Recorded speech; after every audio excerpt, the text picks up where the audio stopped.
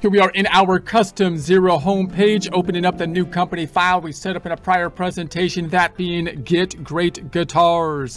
Thus far, we set up the new company file. We entered some of the beginning balances, imagining we're pulling that information in from a prior accounting system. As we did so, we also tried to set up some of those foundational type of items necessary to make data input in the future easier. Now we're just gonna do some last little tweaks to those opening balances made uh, mostly within the equity section of the balance sheet. But before we do, let's duplicate some tabs to put reports in by right clicking on the tab up top and duplicating it. We're going to right click on the tab up top again to duplicate it again as the one to the right's thinking. I'm going to go to the tab to the left, open up the balance sheet report, which is under the accounting and then the balance sheet. As it's thinking, we'll tab to the right go to the accounting, and this time the income statement, the profit and loss. As it's thinking, we'll tab back to the balance sheet, and we see that we're on December 31st, so that looks good. This is what we have thus far. When I go to the income statement, nothing's in there as of 2023, which is basically what we want.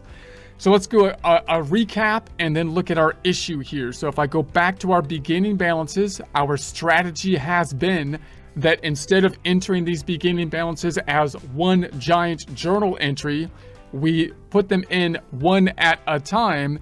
And as we did so, the other side of the transaction for each of them, we put in some way, shape, or form to the equity account down here.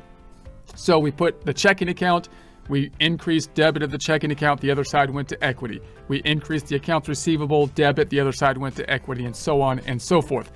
We did it that way so that we can accommodate any special needs for particular accounts, such as the, the accounts receivable, needing customers to be able to populate the subledger, inventory, needing items so that we can track a subledger by item and unit of items, accounts payable, needing the subledger tracking by vendor for example.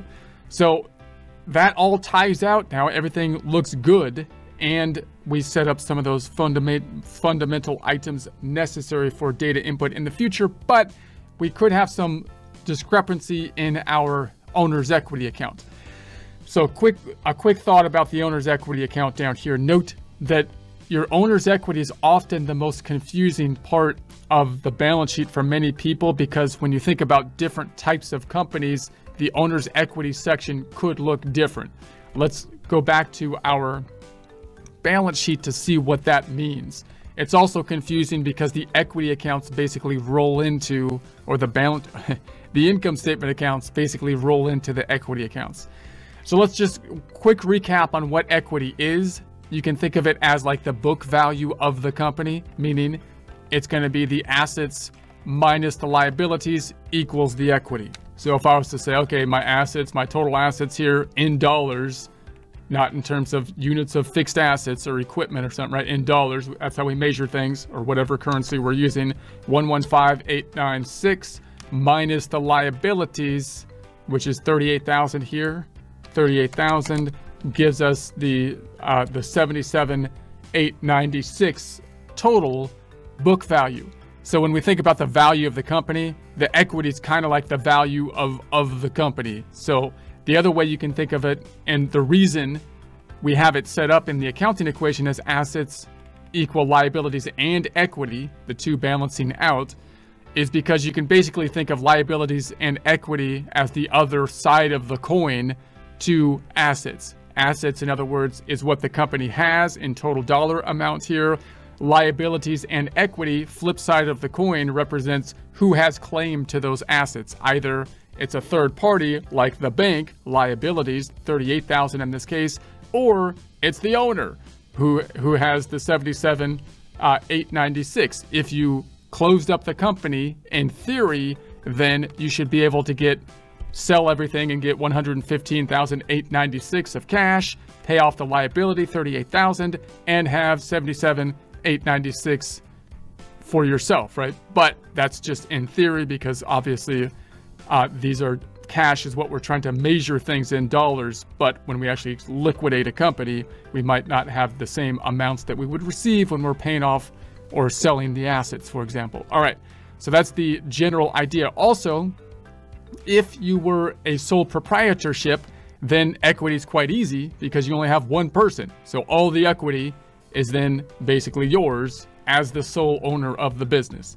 However, if you have a partnership, two or more partners, then the net equity of the business has to in some way then be broken down to who has claim to the equity side of the business, which would then be broken out to different capital accounts, which is actually oftentimes the most confusing set or thing to do, more confusing than a corporation sometimes, because the capital accounts uh, could differ, meaning you could have partnership agreements that have different profit sharing.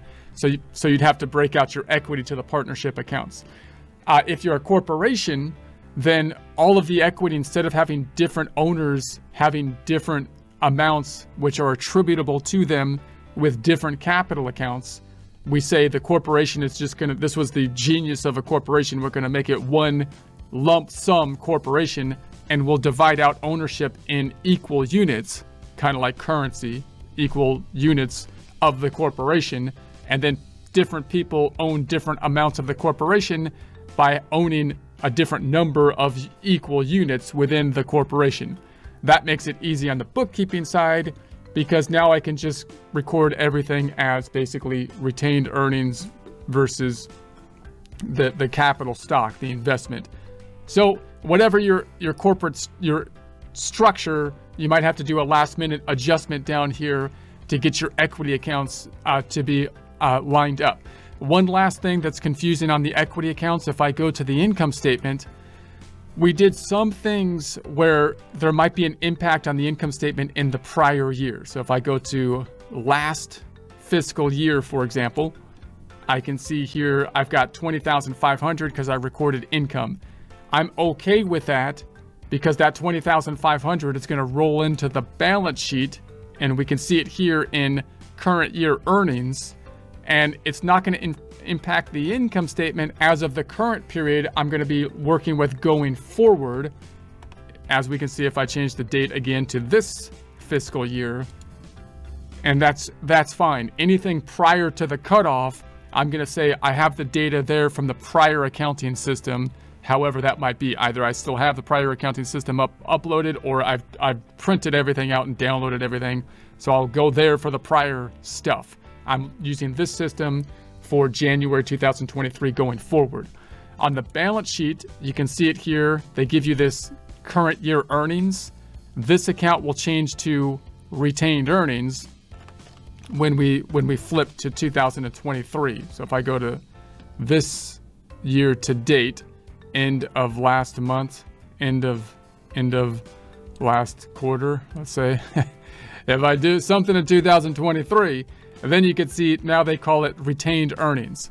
So retained earnings is usually an account name that we use for like a corporation. We call it the earnings that have been accumulated over time, which have not yet been distributed to, in that case, the owners, which are shareholders in the form of dividends in that case. In our case, if we're, we're going to assume we're a sole proprietor, then it might be more proper to call this like the capital account, like we did up here, so I don't want this one basically maybe to be the capital account, and then maybe I should change this one to like draws. So in, an, in a sole proprietorship, one owner, we're gonna have it increase. You could keep it retained earnings, but it'd probably be lined up to a, to a sole proprietor better if you changed it to like uh, owner's capital, and then we'll have our investments and then we'll have our draws instead of dividends because we draw the money out and we don't have to go through the board of directors or anything to do so. We could just take the money out as a draw as opposed to a dividend.